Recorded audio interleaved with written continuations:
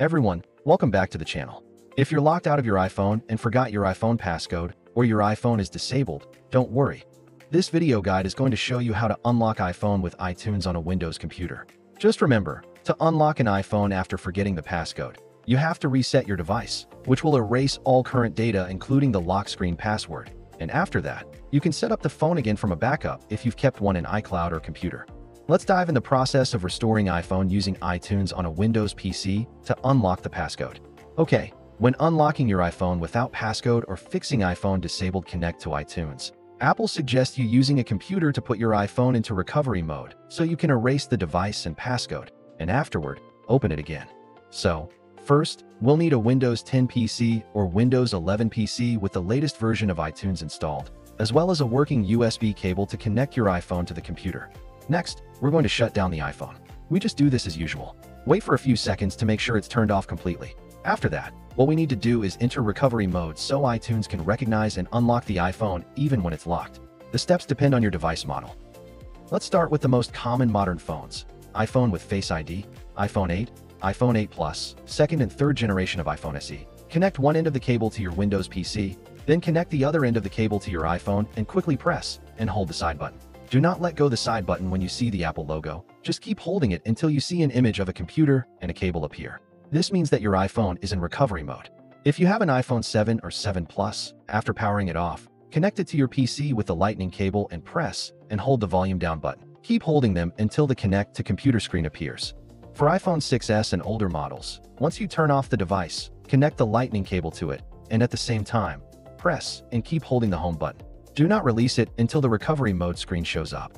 Once your locked iPhone is in recovery mode, the next step is to restore through iTunes to unlock the iPhone whether can't remember passcode or the device is disabled or unavailable. At this stage, iTunes on your PC detects your iPhone and automatically pops up a box saying, there's a problem with the iPhone that requires it to be updated or restored. And you will see two options, update or restore. To unlock an iPhone passcode, click on Restore option, then click Restore and Update to confirm iTunes will download the latest iOS software and reinstall it on your device, which can take a while. Don't unplug the phone. You'll see a progress bar on your iPhone. After the download finishes, iTunes will proceed with the restoring process, helping you unlock your iPhone without password and use it again. Wait for the restoration to finish. It may take a few minutes depending on your internet speed. Once done, your iPhone will restart and boot up to the Hello Setup screen just like when it was brand new. You've successfully unlocked your iPhone through Apple's iTunes. Now disconnect your device and set it up from the scratch. Follow the instructions step by step, and when you reach the Transfer Your Apps and Data screen, you can choose an option to restore your iPhone from a recent iCloud backup or computer backup to get your data back. Move on. Another story. Let's say there's something wrong when using iTunes to unlock your locked iPhone. And you may encounter the errors like iTunes not connecting to your device, iTunes restoration is stuck in progress, or whatever. No worries, an excellent iTunes alternative, called AppGeeker iPhone Unlocker comes to rescue and effectively unlock an iOS device without passcode. Whether you have forgotten passcode on iPhone, or your device is disabled, unavailable, or security lockout, the software offers a solid unlocking solution to bypass the lock screen so you can regain access. Even if you cannot unlock your iPhone without the Apple ID, this iPhone unlocking utility can help as well. Alright, if you're interested in, click the download link in the description section below to get the tool on your computer. Now, we'll show you how to use AppGeeker iPhone Unlocker for Windows to unlock iPhone when locked out without a passcode or iTunes on a PC.